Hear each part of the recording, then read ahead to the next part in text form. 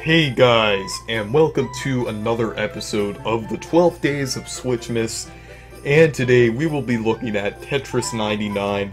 So Tetris 99 is a game that came out earlier this year, and if you don't know about it already, basically it's a game where there's like 98 other people, including you, and there's the it's a battle royale game, and basically you have to play Tetris against like all the other people, and you have to send junk over to the other people by clearing out rows and stuff like that. So you have to try to do it fast, and you have to try to be good at it and like improve your Tetris skills in this game.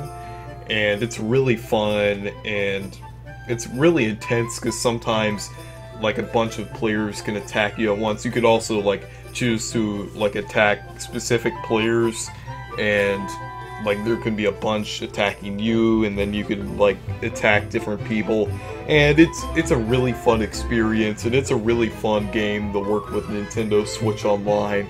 It's and it's a really good feature to have with the Nintendo Switch Online and they also have like themes that come out every month such as the Splatoon, Fire Emblem, Kirby, Luigi's Mansion 3, and Pokemon Sword and Shield. And they also had a retro 30th anniversary tet um, Game Boy Tetris thing, or 35th anniversary slash 30th anniversary Game Boy Tetris thing.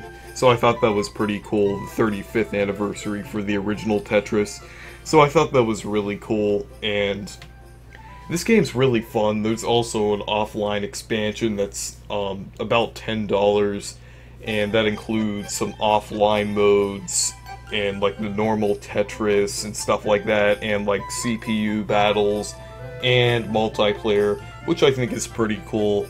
And this is definitely a really good game, and it's if it's free. So if you have Nintendo Switch Online, this is definitely worth checking out. If you don't have Nintendo Switch Online, you can just buy the 99 or the 9.99 expansion for it, which is offline. And it's basically like normal Tetris if you want to play it like normal. And this game's a really fun game. So yeah, thank you guys for watching this video. Make sure to leave a like and subscribe. Goodbye.